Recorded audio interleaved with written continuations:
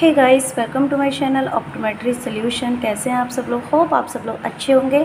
So guys आज की इस वीडियो में स्पेशली हम बात करने वाले हैं best eye drop for children in India होता क्या है, जो सबसे अच्छी जो आई ड्रॉप है, जो बच्चों को प्रेस्क्राइब की जाती हैं, वो कौन सी हैं? स्पेशली बच्चों के लिए भी ड्रॉप आती हैं, कि कितनी एज तक बच्चों को कौन सी ड्रॉप देनी चाहिए तो उसी के बारे में हम बात करेंगे।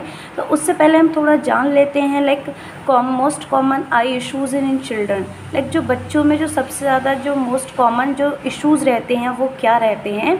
लाइक आजकल क्या है, बच्चे क्या है मोबाइल फ़ोन काफ़ी यूज़ करते हैं, जिसकी वजह से उनको बहुत ज़्यादा वाटरिंग की प्रॉब्लम प्रॉब्लम होती है इरिटेशन होता है लाइक उसको ब्लड देखने को मिलता है लाइक उनको ब्लड दिखाई देता है तो काफ़ी कंडीशन है। दैन दूसरा अगर मैं डिज़ीज़ की बात करूँ तो सबसे ज़्यादा जो प्रॉब्लम जो देखी जाती है बच्चों में, वो एम्ब्लायोपी की प्रॉब्लम देखी जाती है लाइक जिसको हम लेज़ी आई बोलते हैं। एलर्जिक कंजक्टिवाइटिस की प्रॉब्लम बच्चों में बहुत देखने को मिलती है तो इन सारी प्रॉब्लम के लिए बच्चों को हमें कौन सी मेडिसिन प्रिस्क्राइब करनी चाहिए, जो स्पेशली बच्चों के लिए ही होती है देन उसके बारे में हम बात करेंगे। तो इसमें इसमें हमारा फ़र्स्ट है atropine sulphate eye drop like atropine sulphate eye drop का इसका क्या है? थोड़ा इसके बारे में हम जान लेते हैं। तो इसमें हमारा दिया है during surgery atropine is use to assist minimize saliva mucus and other secretion in the airway हमारे एट्रोपाइन सल्फेट आई ड्रॉप है।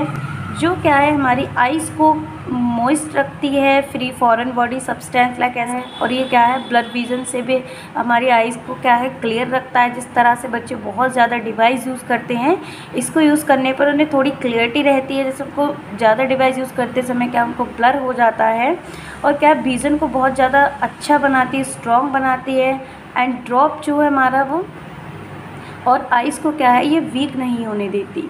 देन उसके बाद है हमारा bepotastine bepotastine besilate eye drop like bepotastine besilate eye drop में हमारा ऑफ्थालमिक solution है, जो हमारा यूज़ होता है relief, irritation of the eye. Eyes में अगर इरिटेशन होता है देन उसके लिए यूज़ होता है।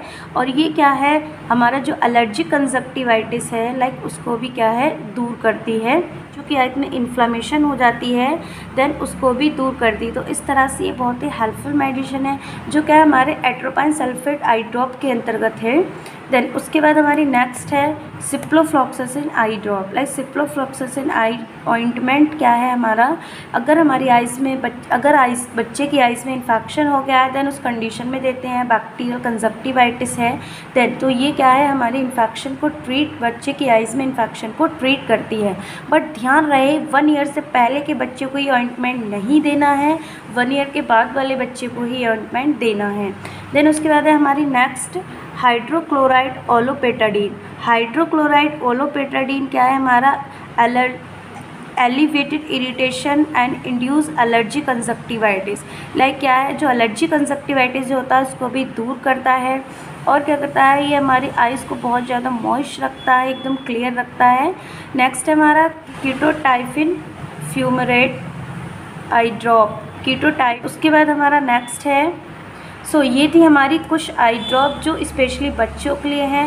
लाइक ये कोई मेज़र कंडीशन के लिए आइस ये कोई आइज़ की मेज़र कंडीशन के लिए नहीं है। लाइक जो नॉर्मल बच्चों को जो प्रॉब्लम होती है लाइक बहुत ज़्यादा इचिंग हो रही है इरिटेशन हो रहा है आई स्वेल कर गई है कंजक्टिवाइटिस है एलर्जी कंजक्टिवाइटिस है लाइक इन सारी कंडीशन के लिए बच्चों को देते हैं।